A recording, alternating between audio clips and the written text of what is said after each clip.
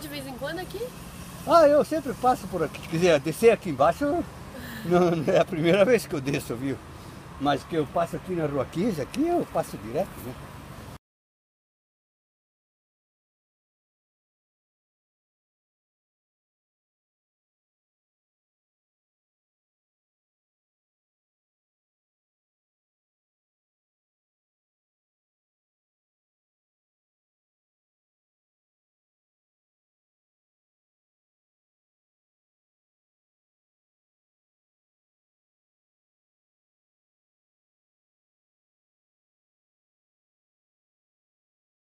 Tipo de cidade que a gente quer, quer construir e quer fazer parte.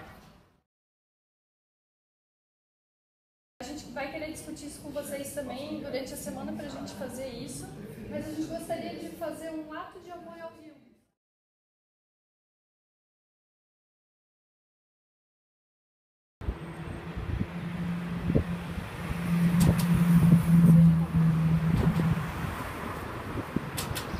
Descer para ver essa para.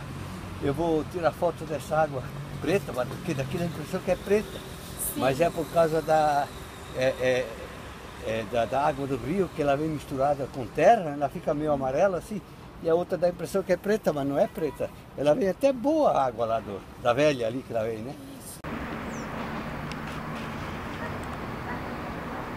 E o senhor já pescou também aqui no rio, não? Não, no rio eu não pesco mesmo, porque eu não teria coragem de comer o peixe que sai desse rio, né? Aham, tem muita gente que pesca É, Eu já né? vi gente pescando ali, mas eu fico pensando, o cara tem muita coragem, porque esse rio.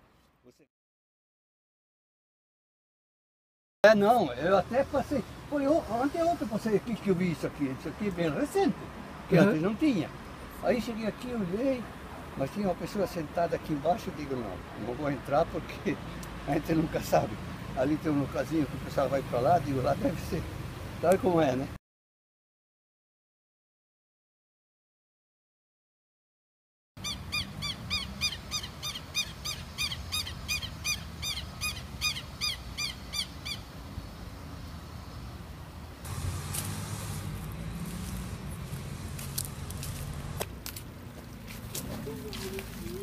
Tá?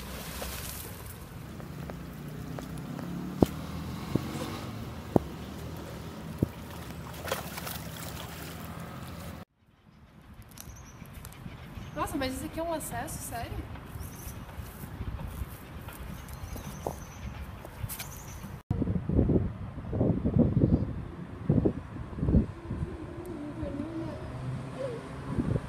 O rio já me. Nunca me prejudicou. Eu moro no alto ali na Ponta Aguda, daí ela não, não me prejudicou em nada ainda. No verão vamos tomar sorvete, orar para as capivaras. Ui, é tudo muito bom.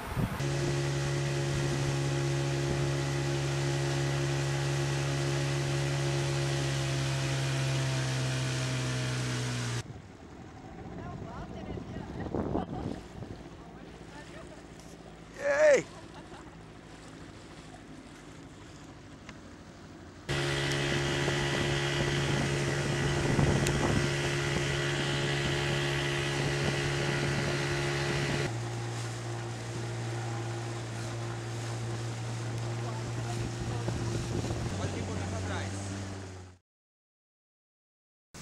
Olha, andar de bote pelo rio é uma maneira de fazer com que os futuros urbanistas da cidade, as pessoas que vão planejar a Blumenau do futuro, conheçam a cidade do ponto de vista do rio. A gente está acostumado a ver a cidade da ponte, ver o rio da ponte ou ver o rio andando na beira-rio. Mas são poucas as pessoas que entendem como é que é essa dinâmica do rio, o que, que é a margem preservada, o que, que é a parte urbana da cidade do ponto de vista do rio. Senão a gente planeja a cidade de costas para o rio, que é o que a gente tem hoje.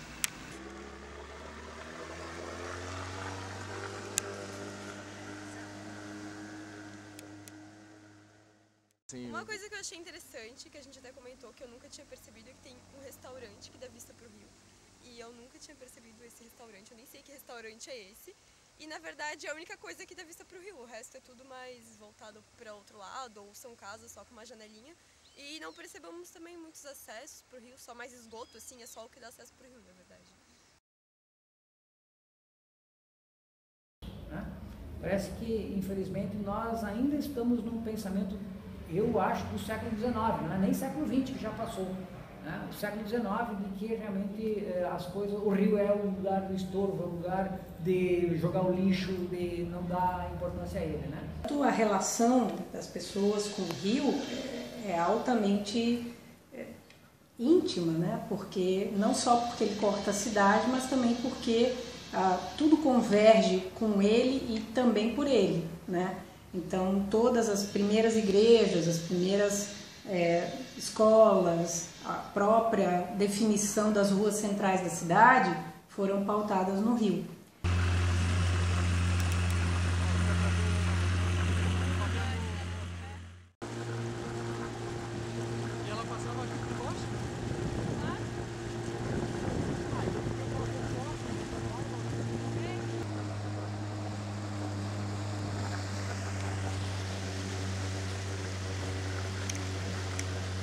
Mas a partir da Revolução Industrial, o rio começou a, a ser o lugar em que tudo pode ser despejado. Vamos ter os problemas das grandes construções nas margens dos rios, dificultaram então o acesso das pessoas, da população a essas margens. Tanto é que a gente tem é, um, um contínuo significativo na cidade de Blumenau e região de vegetação ao redor do rio e isso foi interrompido com a margem esquerda, né? Não vou discutir aqui a questão da obra se ela era necessária ou não, mas a gente sempre teve um grande contínuo até quase chegar ali em Gaspar de vegetação que possibilitava a fauna sobreviver, a flora mesmo. E esse contínuo ele tem sido cada vez mais interrompido é, por conta de ação humana e construção humana. Né? O, o, rio, Itajaí Sul, nós é, acho que o município, as pessoas aqui, a cidade, as instituições acabaram voltando um pouco as costas para o rio né? E, e, nós acabamos é, entendendo o rio apenas como um elemento que, que traz a tragédia, como, por exemplo as enchentes, a destruição. Né?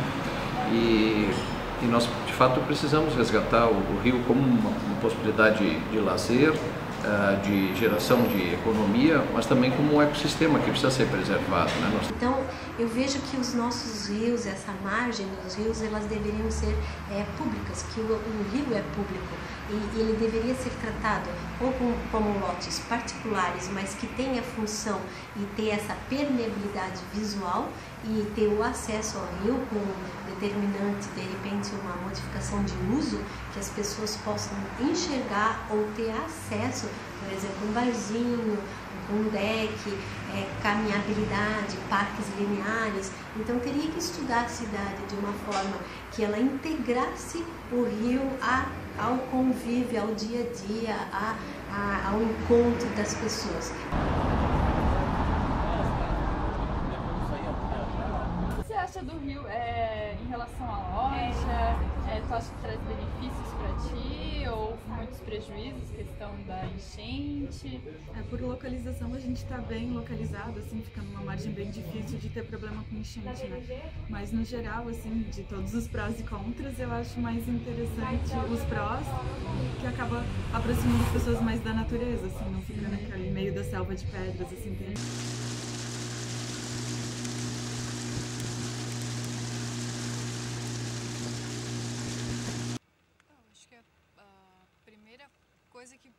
muita atenção é essa natureza que a gente tem aqui.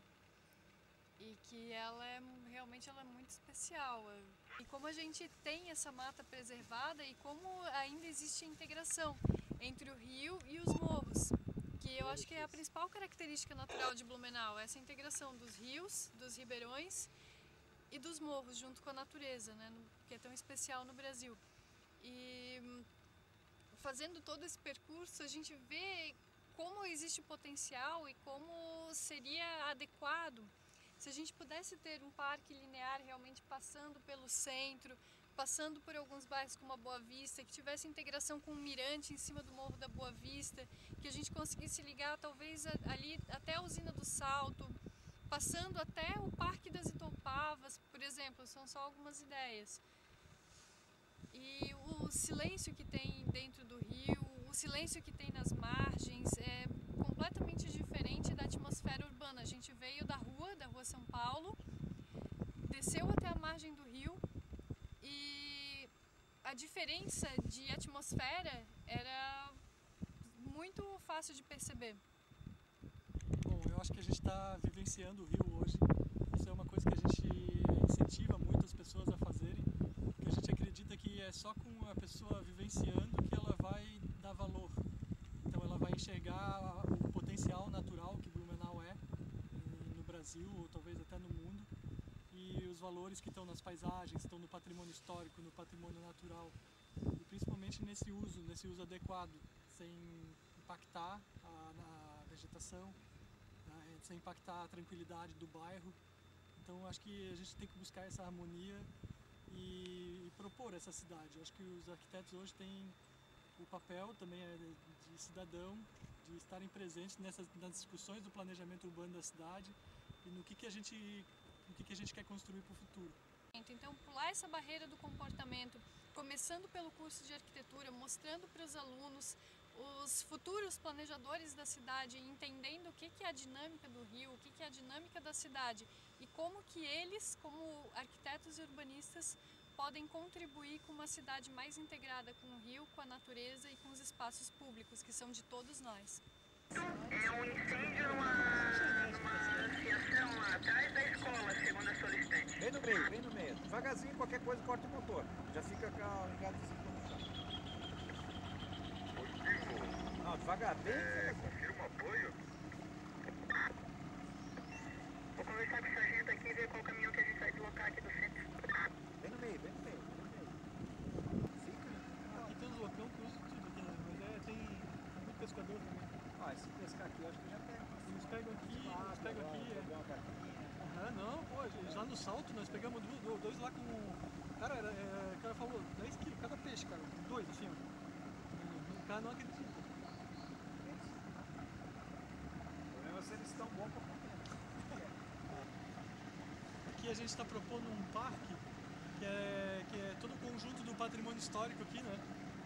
E na verdade a gente sugere um parque linear ao longo do Ribeirão Garcia. Que se estava propondo uma via para ônibus, né? Mas aí desconsiderava totalmente a paisagem e a, e a vegetação, o próprio rio. Então acho que faz muito mais sentido ter um parque onde é, é um lugar de permanência também, não só de passagem não só a mobilidade, né? Porque hoje parece que tudo é mobilidade. A gente justifica que isso aqui é um patrimônio. É uma. Pô, olha só isso, cara. Isso aqui não se conhece do Rio. Em pleno, em pleno centro da cidade, ninguém nunca viu isso. Ninguém nem vê de lugar nenhum. É uma proposta do Ateliê Vertical da FURB, do curso de Arquitetura e Urbanismo. São alunos de diversas fases do curso que se integram diante de um propósito comum. Então quem propôs a atividade foi o Grupo Acupuntura Urbana e junto em uma parceria junto com o Corpo de Bombeiros e com a Defesa Civil para viabilizar o passeio e a visita a campo.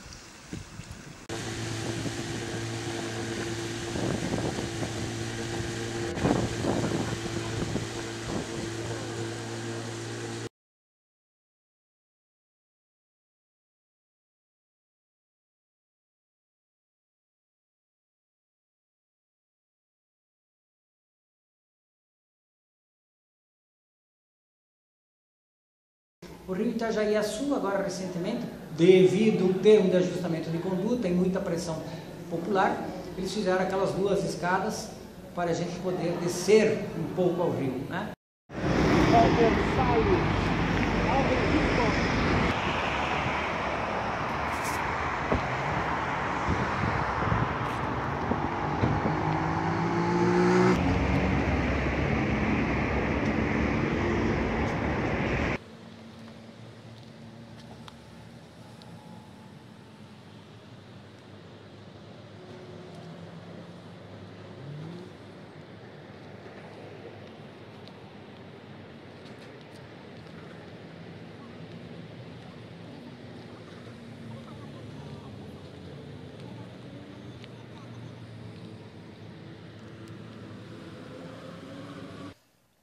O rio ele vai continuar, né?